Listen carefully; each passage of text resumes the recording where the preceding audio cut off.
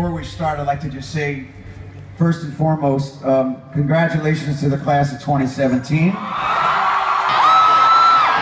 is another story and my friends just a fork along the road. So here we are, um, backstage in MetLife Stadium, a venue I know very well, a locker room I know very well, um, to perform a surprise Bon Jovi song at the graduation of Fairleigh Dickinson University. Uh, we had a nationwide contest uh, where kids would tweet their college memories uh, in order to win the band, surprising someone somewhere and performing the song that I wrote for another commencement. And since then, it's become a record. And uh, anyhow, the song is called Reunion.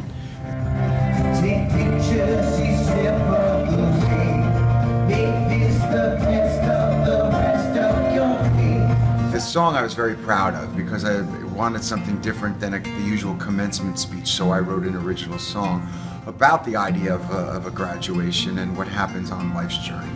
And uh, it all came together and we, we included it on the new album. In short, I would tell them one thing.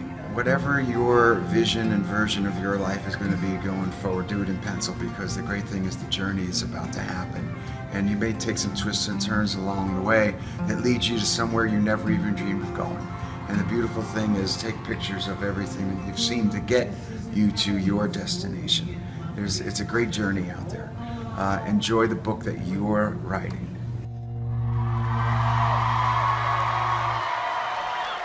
Thank you. Good luck, class of 2017. We'll see you